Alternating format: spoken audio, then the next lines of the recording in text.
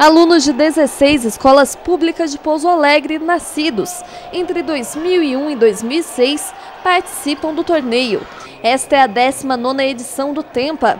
Os estudantes disputam em 12 modalidades de jogos, basquete, vôlei, queimada, futsal, xadrez, entre outros. Esse evento foi criado é, para que surja talentos dentro dessa idade, atletas de que tem 10 anos, 12 anos, para que depois participe dos jogos escolares, jogos estudantis e venha se destacar para representar a cidade em futuras competições. Os jogos acontecem na Praça de Esportes Prefeito Alvarim Vieira Rios. De acordo com o coordenador do campeonato, a prática esportiva nas escolas deve ser incentivada, porque é capaz de beneficiar os alunos de diversas maneiras. O esporte vem auxiliar na formação integral desse aluno onde ele vai ter toda uma disciplina esportiva, saber respeitar os seus adversários, seus professores.